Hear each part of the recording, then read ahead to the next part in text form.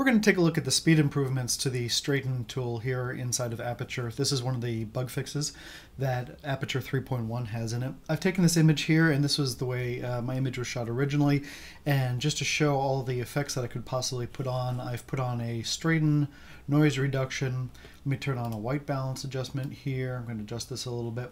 Uh, we have exposure, enhance, curves, highlights and shadows. We have all of these adjustments on. I've also done a little bit of skin smoothing, and now just for the heck of it, I'm going to come over here and I'm going to do a little bit of a blur.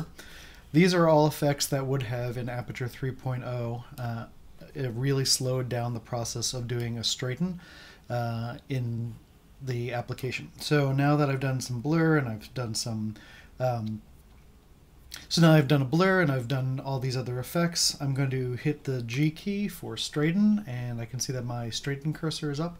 I'm just going to grab this and I'm going to move it around.